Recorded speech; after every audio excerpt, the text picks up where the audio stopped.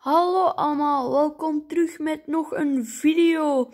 Ehm, ik ga uh, u nu uh, vertellen hoe dat je energie of een hartje kan wisselen in, allee, van dingen kan verwisselen. Als je naar je huis gaat, als je niet weet waar je huis is, is hier hetzelfde uh, plaats waar je je spullen, je dingen kan upgraden.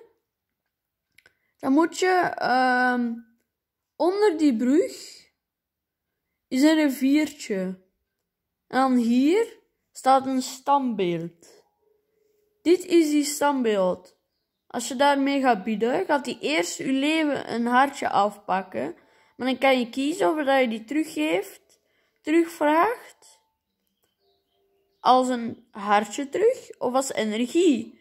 Maar nu als je dat moet doen, moet je die betalen. En ik ga dat niet doen, want ik ben blij met hetgeen dat ik heb. Dus als jullie dit willen doen, weet zeker, deze hier. Ik weet niet of dat er hier meer van zijn, maar dat weet ik. Dus uh, ik denk van wel. En dan ga ik je ook al meteen laten zien waar alle veepons zijn. Um, eentje is uh, hier.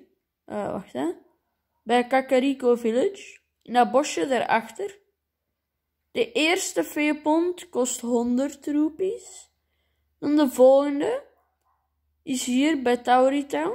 Als je Town nog niet hebt, dan uh, zou, moet je tegen Hudson praten, die hier is. Ook bij je huis. En dan gaat hij naar hier. Hier bij Tauri Town is dan hier een, uh, een tempel. En dan, als je in die tempel bent, alleen uit, op het platform van die tempel bent, en je kijkt naar Tauri Town, ga dan naar rechts, dan ga je hier naar beneden, is er nog één. Die kost dan 500 roepies. Dan is er, wacht hè. Uh, ja, als je hier op de toren staat, smiddags, dan gaat hij uh, al meteen naar de juiste plaats wijzen. Dus dat is dan hier ergens, of hier. Ik denk hier, ik weet niet zeker. Um, en de laatste, die ga ik dan zelf laten zien. Dan moet je eigenlijk naar um, dingen, de Gerudo Fort gaan.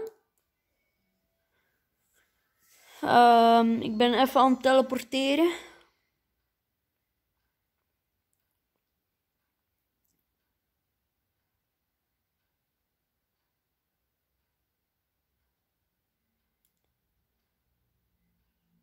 En sorry als ik vandaag zoveel um, dingen heb, uh, filmpjes heb geüpload. Sorry daarvoor. Als jij uh, liever hebt dat ik in het vervolg um, één keer per dag maar post of één keer per week. Um, leave dan uh, comment down below. Uh, wacht hè. Moet ik even mijn undercover armor aantrekken, want anders gaan die mij niet binnenlaten.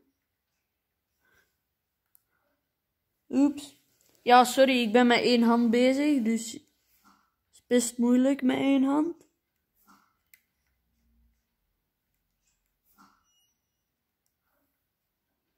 Als jullie willen weten hoe dat je dit armor krijgt, zeg dat dan ook in de comments.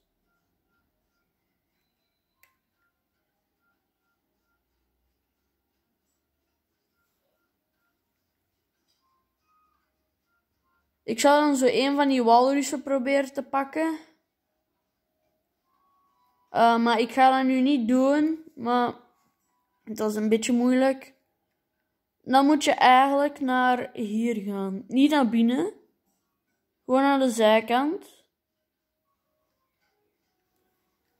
Ik ga even de video op pauze zetten, want dan gaat het iets sneller. Sorry. Maar jullie weten, ik ben met één hand bezig op de controller. Ja, we zijn terug. Um, dan moet je eigenlijk gewoon naar daar verderop blijven gaan. Normaal, normaal is daar zo'n gigantische sandstorm bezig. Maar ik heb Vane Boris verslagen. Allee, al in mijn bezit. Dus um, is die storm weg. En um, dus dan moet je eigenlijk gewoon naar daar gaan. Je kan niet op je map kijken, dus ik ga je geen coördinaten geven. Uh, zelfs als je op de grote map is dan gewoon een gigantische blur. Uh, gewoon naar daar blijven totdat de mist op uh, weggaat. Dan is er een groot skelet en in dat skelet is dan uh, een ding. dan een veepond. Die gaat, de laatste veepond gaat 10.000 roepies kosten. Um, dus dat is best duur.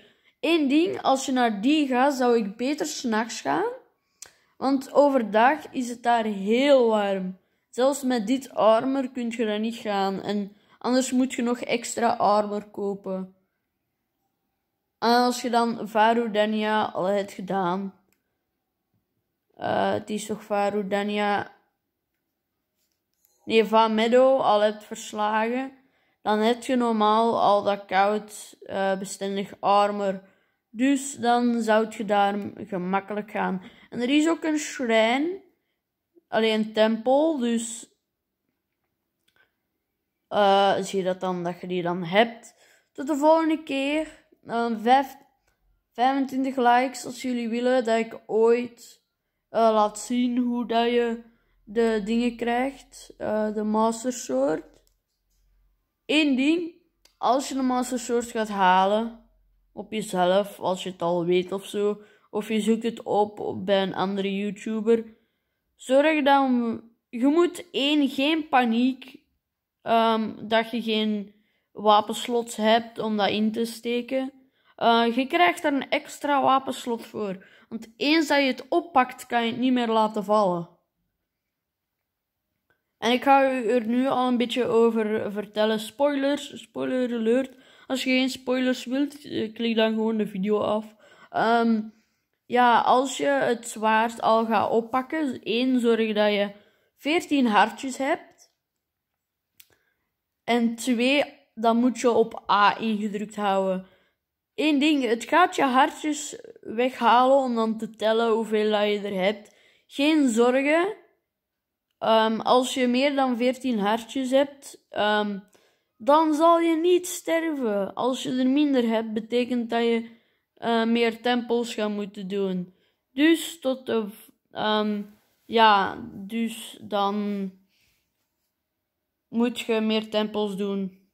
Dus dan niet bang zijn.